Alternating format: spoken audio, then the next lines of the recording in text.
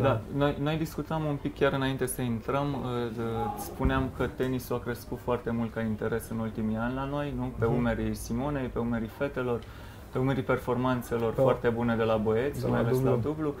Și atunci te întrebam dacă de, de la voi se urmărește treaba asta, dacă sunteți la curent.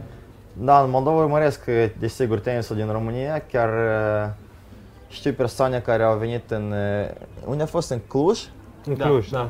da. A venit și au urmărit meciurile din Cluj, de, de la Fed Cup. Și noi vom juca Cupa Davis cu Spania în Cluj în iulie. Da? Da. Posibil să vină din nou, să urmărească meciurile.